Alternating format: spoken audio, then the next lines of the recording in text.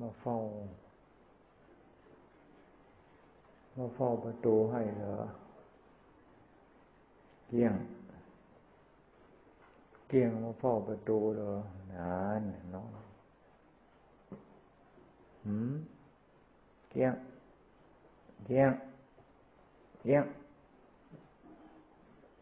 เกี้ยงหืมนอนเฝ้าประตูเหรอ ผมมาเฝ้าไว้เนาะ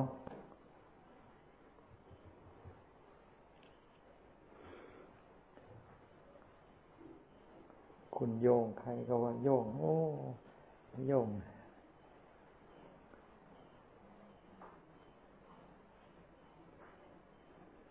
ขาวโยง งามโยง รอพูดกันไปหมด แต่คุณเกี้ยงนี่เขาว่าไปอย่างหนึ่งโอ้ย มัดเท่านั้นสุดของสุดอีกอะ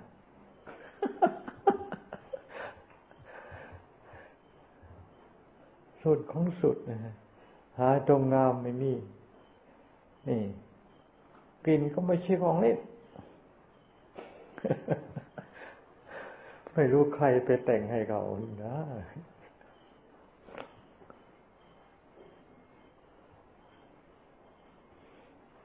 แต่เขาเป็นสุนัขที่ เรียบร้อยนะเก่งเขาโมดไม่วุ่นวายไม่ส่งเสียง แล้วโดยเฉพาะอย่างยิ่งเสียงเห่าโคกๆไม่มีเฮกไม่มีนะเงียบตลอดกาลมันไม่ใช่เงียบเพราะมันเรียบร้อย มันเรียบเงียบเพราะมันเป็นใบแต่ว่าเป็นใบทำไมมันได้ยิน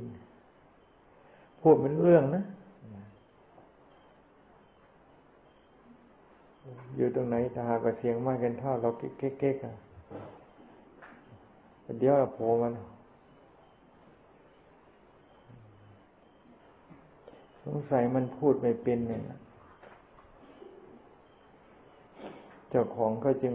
ไล่มันหนี แล้วก็ไม่รู้ว่ามันมาจากไหน มาที่แรกอยู่ทั้งโน้น สุดๆของวัดนู่นนะ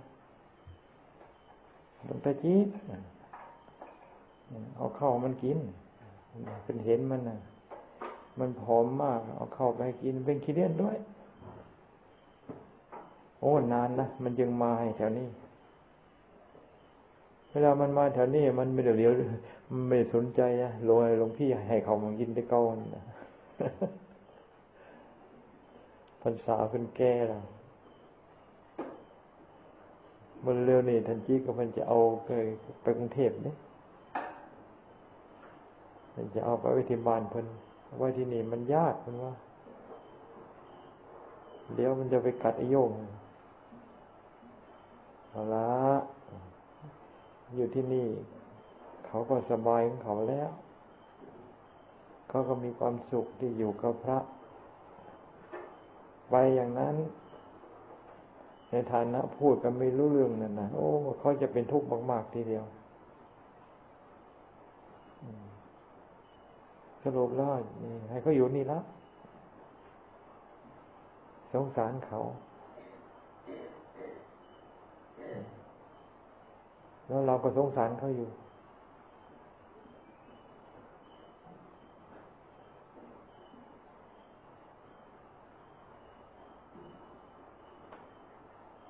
บางทีบางทีหลวงพี่เป็นก็ยังหยอกแรงอยู่นะโอ้ต้องพูดกันอยู่เสมออย่าไปทยอกอย่าไปอย่าไปรังแกก่อนนะเขาว่า ตั้งความสงสารเอาไว้มากๆ มันไม่มีใครอยากเป็นแบบสุนัขแล้วถึงจะเป็นสุนัขยังไง มันก็ไม่มีใครหรอกอยากเหม็นไปทั้งตัว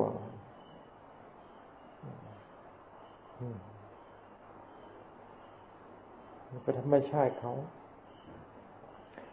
ธรรมชาติเขาใครไปสร้างเขาใครไปแต่งเขา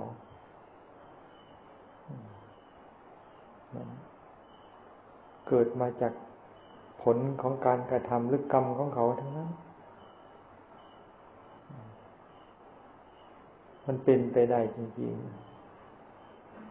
ๆสุนัขมาเห็น ตัวไหนก็ช่างกลิ่นก็จะเหมือนกับไอ้เหม็นเหมือนกับไอ้เกี้ยงนี่ไม่ไม่ปรากฏนะท่านที่ครูบาเพิ่งเคยดูแลอยู่นะเนี่ยบางที่ระหว่างนั้นอาบหน้ำเห็นทุกวันอยู่แล้วอาบไงมันก็ยังไม่ถึงกลิ่นมันมาข้างนอก กลิ่นมันอยู่ข้างในนั่นแหละใครจะไปเอากลิ่นข้างในมันออกได้ ในที่สุดก็ต้องยอมรับมันใช่ธรรมชาติ ไอ้กลิ่นที่ว่า มันเหม็นเหม็นเนี่ย เราอย่าไปว่าเหม็นเขาอย่าเราอย่าไปว่าเหม็นเพราะว่าไอ้เขาใส่น้ำอบเสีย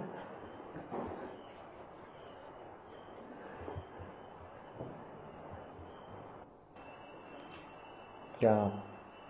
อำเภอกรมลไสห้าองค์ใช่ไหม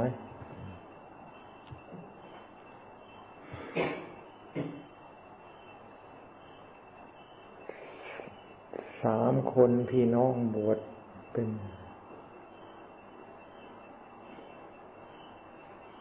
สามพี่น้องบวชไม่ใช่หาได้ง่ายๆบวชเป็นหลวงพ่อหลวงตา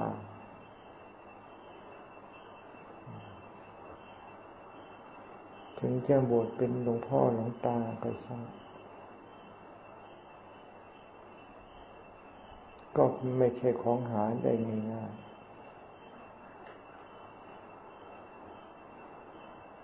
สมัยพระพุทธเจ้า ก็มีผู้อายุแปดสิบจนบวชแต่ท่านผู้นี้อายุร้อยหกสิบจะต่ำอายุยืนที่สุด อายุได้ร้อยหกสิบปี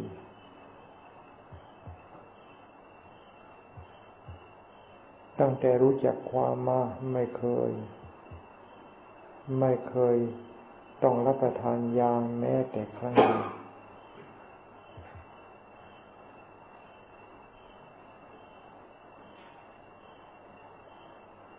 พระพุทธเจ้าท่านยกย่อง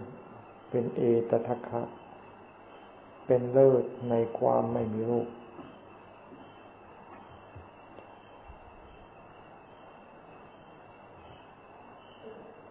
คือไม่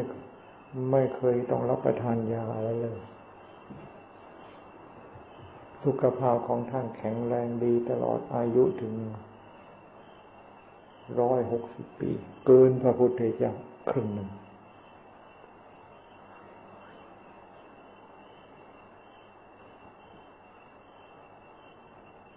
อดีตชาติ ท่านเคย เป็นหมอ รักษาโรคภัยไข้เจ็บโดยไม่คิดค่าแรงไม่ได้คิดเป็นเงินเป็นทอง รักษารักษาด้วย ด้วยน้ำจิตน้ำใจ มีอานิสงส์มากทำอะไรทำด้วยเมตตาทำโดยเปี่ยมด้วยเมตตา มีอานิสงส์มากจริงๆ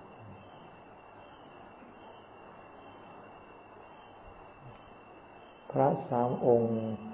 วันนี้สามพี่น้องนั้น ถ้าหาก็ดูนี่ รู้สึกหกสาม หกสามสิบแปดก็คงไม่ต่ำดอกร้อยแปดสิบปี แต่ละองค์แต่ละองค์นี่น่าจะหกสิบปีขึ้นไป องค์กลางบทเกราะบทก่อน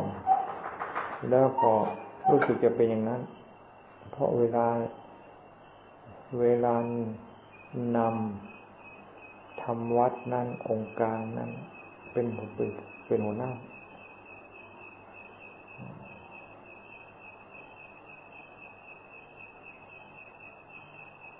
เราก็ชื่นชมอยู่ ไม่ใช่เป็นของหายได้ง่ายๆ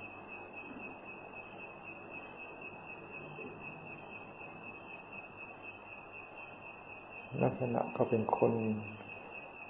เป็นคนโบราณ เป็นคนไม่ใช่เป็นคนโบราณพูดจาอะไรง่ายๆ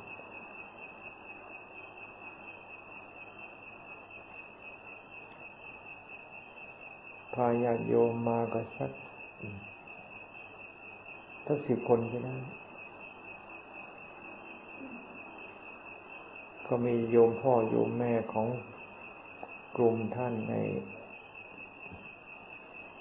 อะไร ลืมไปเลยนี่โอ้เออกลุ่มโยมพ่อโยมแม่ของท่านสุริยา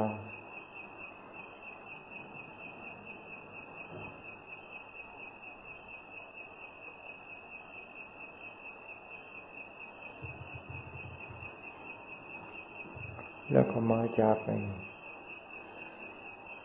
ทางบ้านขมิ้นบรรณาขมิ้นทางนู่นนะทางนครพนมอำเภออะไรนะเอออำเภอโพนสวรรค์นี่นั่นเป็นชาวเทาเทน แล้วไปบวชที่กรุงเทพ แล้วก็อยู่ที่ไหนอยู่ที่ไหน อายุพรรษารู้สึกจะได้สัก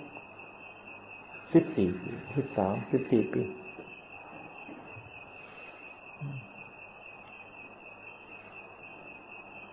ท่านองค์นี้เคยมาหลายครั้งอยู่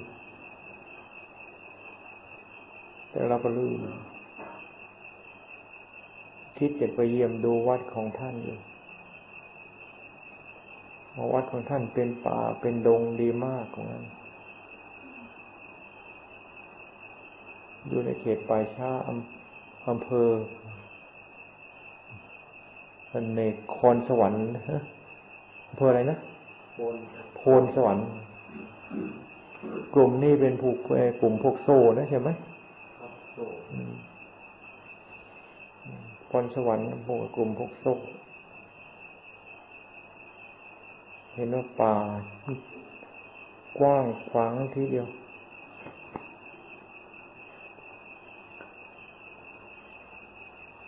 เป็นไม่ดูเป็นไม่แดงเป็นไม้ไม้พยุงต้นโตๆทีเดียวท่านว่า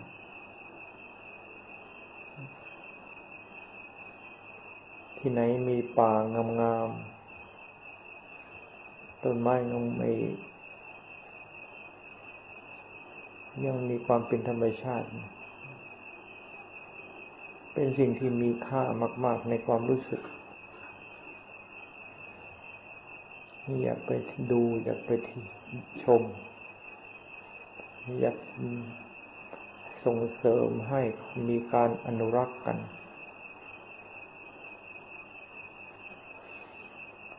เพราะในลำพังแต่พระอย่างเดียว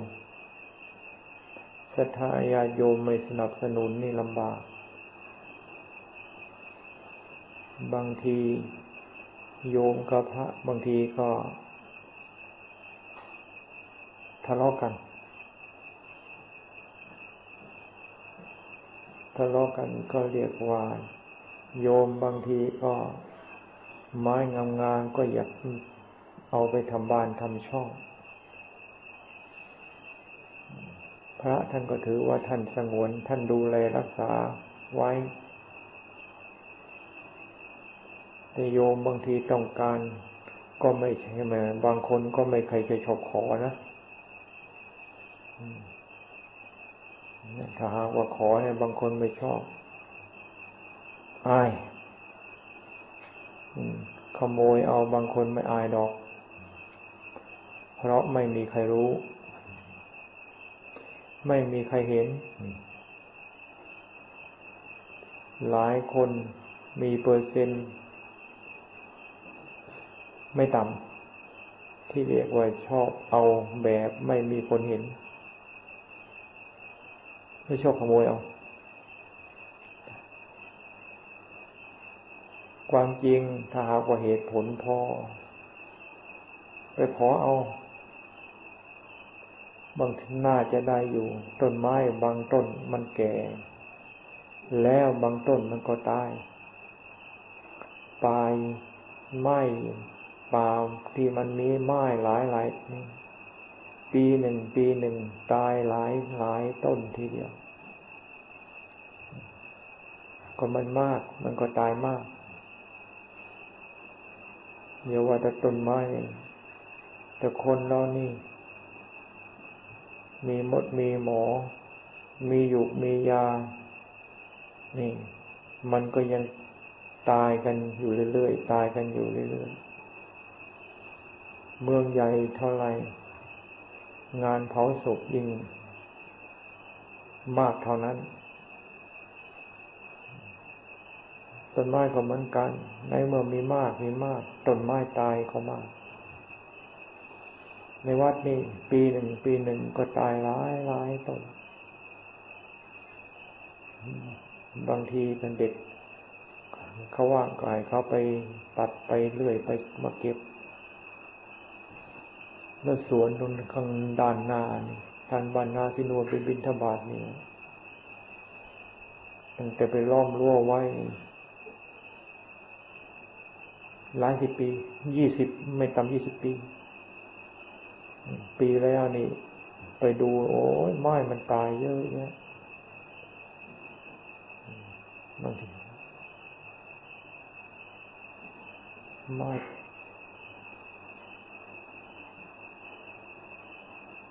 บางต้นกำลังจะงามบางต้นของ เป็นเสาบางต้นเขาเป็นไม้เลื่อน มันตาย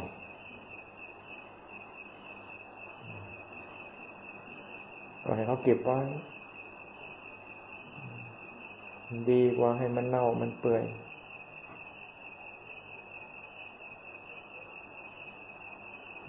ในมาเก็บไว้ต้องการใช้ ทางไหนต้องการใช้ทำอะไร เราก็เอามาใช้ให้เป็นประโยชน์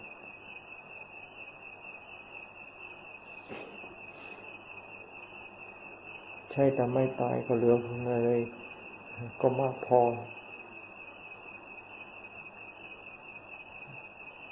ไม่เป็นก็ห่วงไว้ ไม่เป็นก็ห่วงไว้ต้นเล็กๆ มันก็ยังจะโตขึ้นมา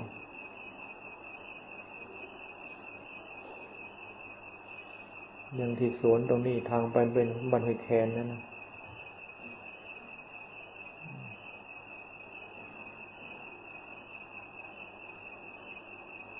นั่นเขาก็มาอ่อนวอนไม่มีทางออก เป็นหนี้เป็นสินซื้อให้เขา เป็นที่เขาต้นทางต้นไม้ไม่มีแล้ว มีก็เป็นบางส่วนที่มันตกข้าง ส่วนใหญ่ทางเพราะทางปลูกหญ้ากัน ช่วงนั้นหญ้ากำลังกำลังฮิต ป่าไม้ต่ออะไรต่ออะไรกลายเป็นสวนหญ้าไปหมด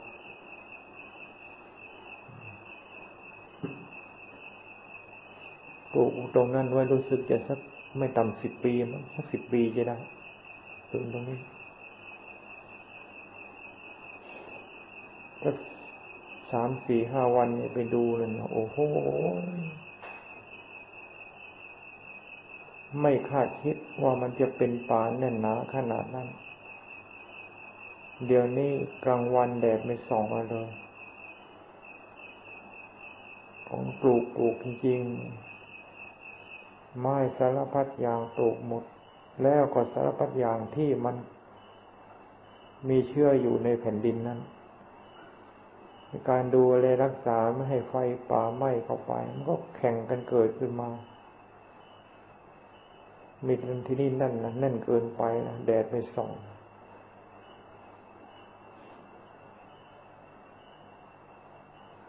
พูดถึงหน่อไม้ในในในในในป่านั่นถ้าหากว่าจะเอา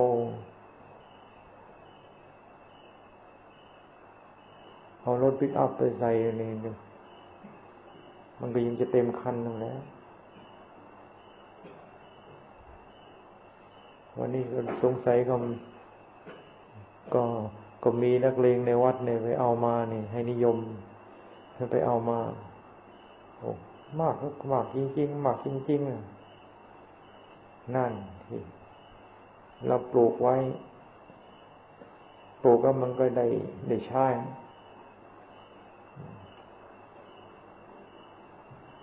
ปลูกไว้มันก็ได้กินแต่ถ้าหากว่าขยันขันแข็งสีสีอย่างนะ เมืองไทยเราไม่อยากจนหรอกไม่อดไม่อยาก เพราะทุกคนอิ่มหนำสำราญแล้วจะอยากจนได้ยังไง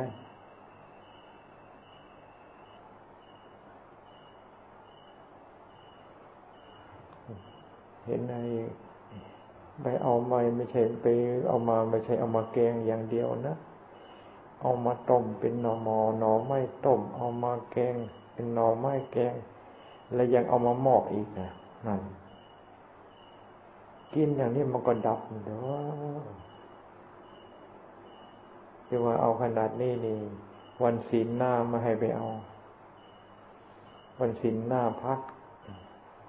วันศีลนอนต่อไปมันก็จะยาวขึ้นมาแล้ว มันก็จะหมด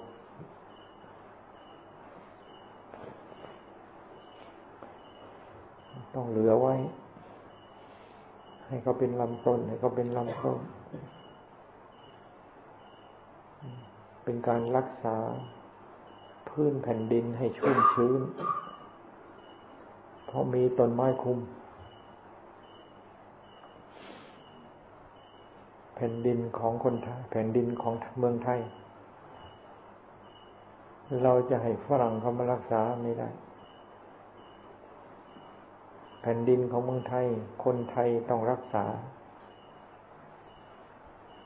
รักษาแผ่นดินให้ชุ่มชื้น ไม่ต้องเอาน้ำไปลดไม่ต้องไปทำฝนเทียม เพียงแต่ให้มีป่า มีต้นไม้คลุมแผ่นดินไว้ นี่แผ่นดินชุ่มชื้น ชุ่มชื้นขึ้นมาเอง แผ่นดินชุ่มชื้นแล้ว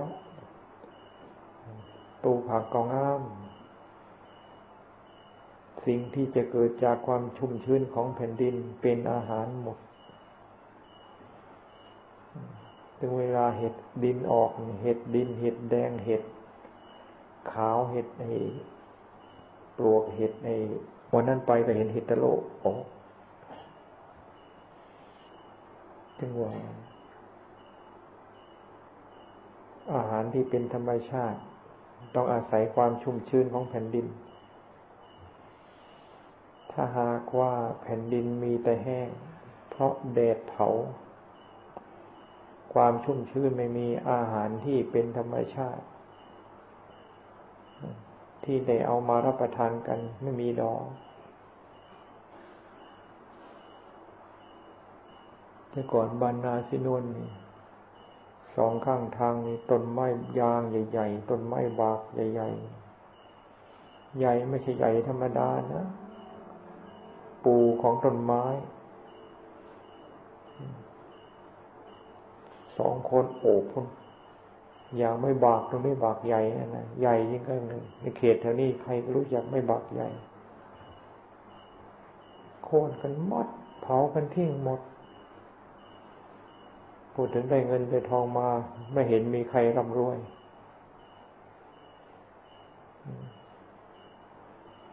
ยังมีต้นไม้ยางใหญ่อยู่ต้นนึงในเขตบนหีบนู่นเจ้าของเขาอยากขายเอาเงินไปซื้อหลังสังกะสีมงบ้านจะซื้อเขาไว้เท่าไหร่นะหมื่นห้าพันหรือสองหมื่นนะเขาลืมแล้วทุกพงจำได้ไหม ต้นไม้ยางที่บนหัวหีบนะในเขตแถวนี้ไกลในแถวนี้นี่ มีไม้ยางงามอยู่ต้นเดียวนั่นทั้งใหญ่ทั้งสูงทั้งงาม ยังสมบูรณ์ ไปเลี้ยวดูลายข้างอยู่ แต่เลี้ยวดูไม่เข้าไปใกล้เพราะมันยังเป็นป่าอยู่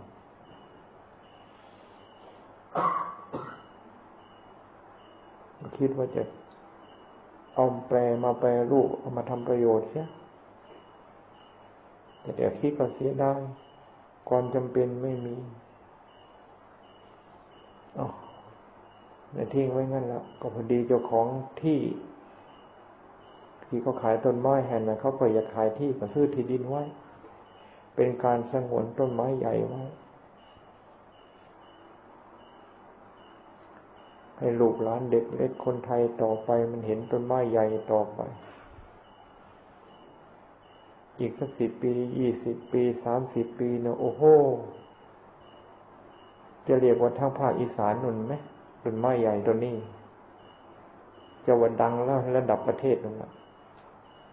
เดี๋ยวนี้ก็เรียกว่าพอสมควรนะเพราะต้นอื่นที่มันใหญ่มันใหญ่ส่วนมากมัน มันไม่ทันใหญ่มันก็หมดแล้วเขาไปทำประโยชน์กัน นี่ก็ตั้งใจจะสงวนเอาไว้ให้มันเป็นพันไม้ต่อไป ต้นไม้ยางใหญ่ ถ้าก็มีต้นยางใหญ่ บริเวณนั้นมีแต่ต้นไม้ ต้นยางเล็กๆพราะแต่ละปีแต่ละปีนี่ ลูกมันเป็นลูกมันมันหล่นออกไปนะนะมันหล่นออกไป ลูกยางมันมีปีกนะลมพัดปิวออกไป ลมพัดปิวออกไปเนี่ยไปตรงไหนมันก็เป็นเป็นต้นขึ้นมันงอกขึ้นมายามฝนตรงนี้อีกแห่งหนึ่งมีต้นต้นยางหลายสิบต้นทีเดียวนี่ตรงนี้ผ่าศูนย์กลางก็ประมาณ รู้สึกว่า เจ็ดสิบแปดสิบเซนมี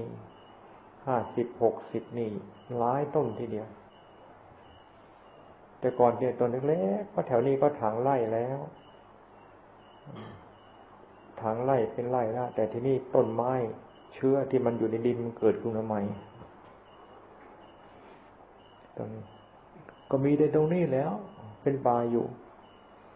ถึงเวลาเห็ดออกก็มีทางไปเดี๋ยวบรรณาซิโนนนี่ ก็มาหาเห็ดตรงนี้ละแต่ก็ได้อาศัยชาวบรรณาซิโนนเนี่ยช่วยดูแล ถึงเวลายามแรงมาจะต้องปักให้ทำทางกันไฟ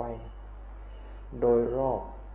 ปีละครั้ง ปีละสองครั้งทำทางโดยรอบทำทำทางไฟไหม้ข้างนอกม่ให้รามเข้ามาเดี๋ยวนี้บรรดาสินวนนี่เริ่ม เขียนคุณค่าของคำว่าป่าและต้นไม้ แต่ก่อนสมัยนั้นปลูกใหม่ๆเนี่ยเรามาจากไหนก็ไม่รู้นะขากลับมาเห็นไฟไหม้สวน คนก็อยู่ใกล้ๆแต่นั่นเดินผ่านผ่านไปผ่านมาไม่สนโอ้โหทำไมใจทำไมใจดำใจมืดขนาดนี้เนาะ ก็กมาบอกพระเนนไปช่วยกันดับ ยามเที่ยงเนี่ยยามนั้นร้อนว่าด้วยเขาบอกไม่รู้จะกระดับง่ายมันไหม้หลายอะเพราะว่าเดี๋ยวนี้ไม่เป็นอย่างนั้น เดี๋ยวนี้ตื่นตัวกันแล้วก็ค่อยตื่นตัวขึ้นเรื่อยๆ